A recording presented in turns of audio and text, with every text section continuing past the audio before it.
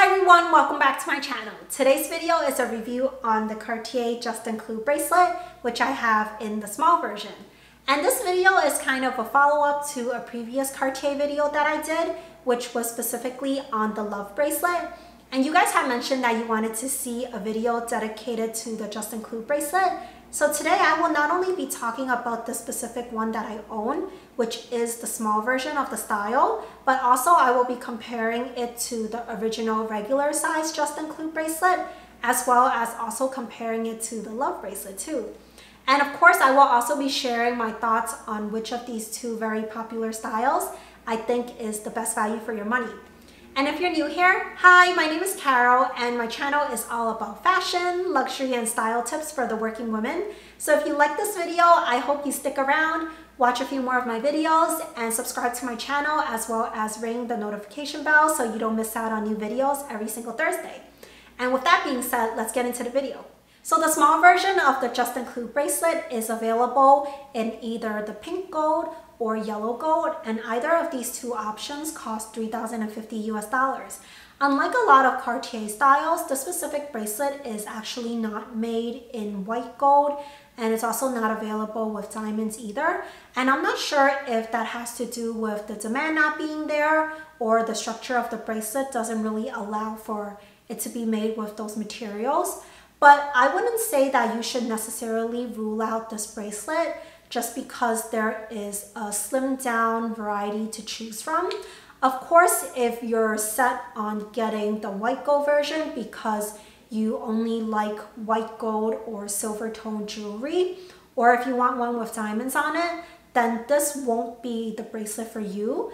But aside from that, I still think that it's a really beautiful bracelet, even though you might not be able to get all the different colors that Cartier usually has available. So I have this specific bracelet in the pink gold and I have this in the 15 centimeter size. So when I was at the boutique trying this bracelet on, I was first shown this exact bracelet in the pink gold. And when the sales associate put this on my arm, I actually thought that he might have brought out the yellow gold by accident because on its own, this definitely doesn't really look pink at all. And it wasn't until he put the actual yellow gold on next to this one that you could definitely tell that there is a bit of a coppery tone to the pink gold. It's still not really pink if that's what you're looking for, but I would say that it's a more elegant and mature looking color if anything. And the yellow gold just didn't quite look right on my skin tone because I do have a bit of a yellow undertone to my skin and the yellow gold just really pulled all that color out and didn't look really flattering.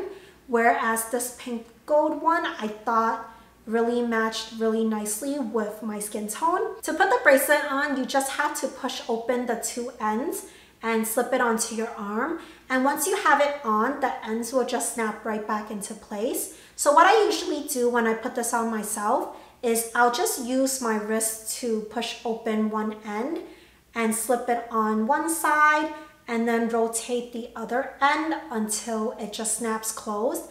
And as you can see, it's really easy to put on and it snaps right back in place and there's no gaps or anything because although this bracelet is pretty flexible, it's also still sturdy.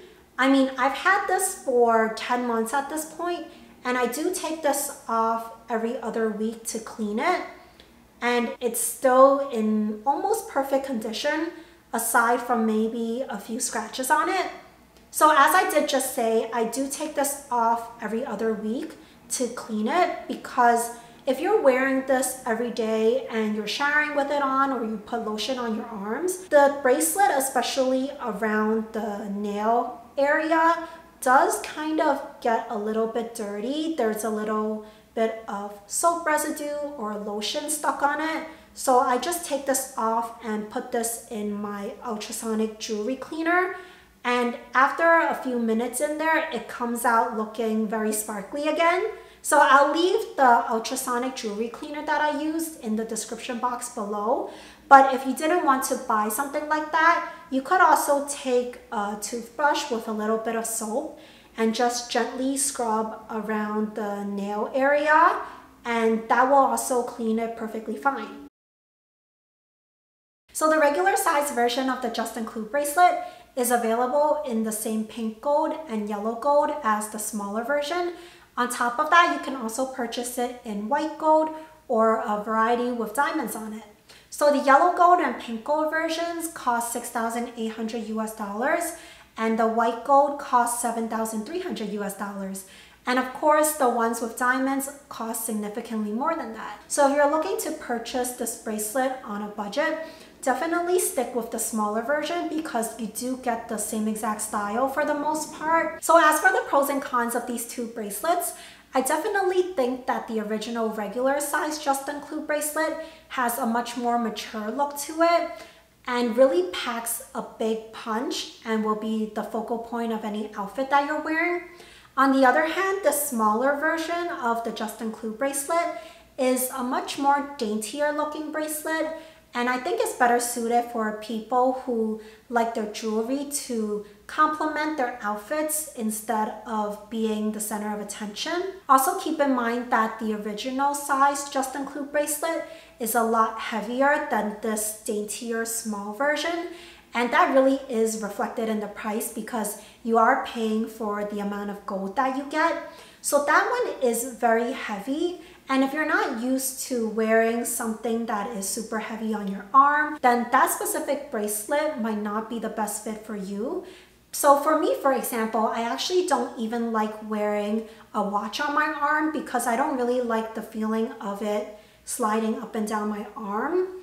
And when I was trying that regular size Juste Un Clou bracelet at the boutique, I was very aware of it moving up and down my wrist when I would lift up or put down my arm.